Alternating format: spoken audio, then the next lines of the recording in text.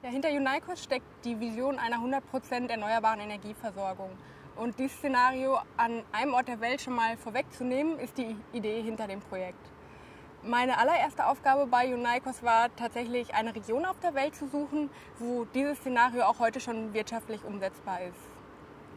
Bei unseren Recherchen sind wir dann auf die Azoren gestoßen. Das ist das Archipel, das mitten im Atlantik liegt, zwischen den USA und Europa.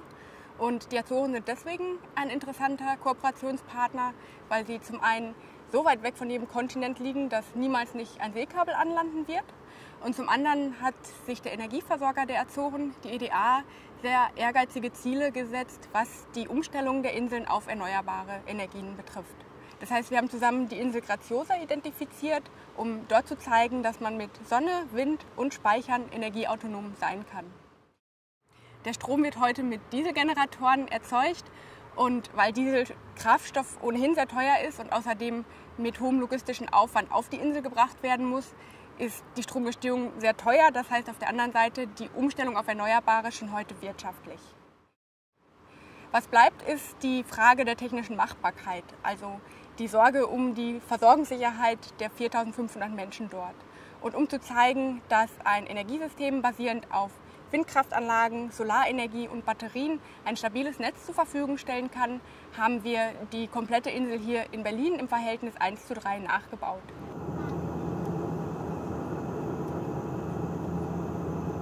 Today we are here after the finalization of the master agreement for the delivery of green electricity to EDA And I'm yeah, very proud to have the possibility to sign this agreement today with you.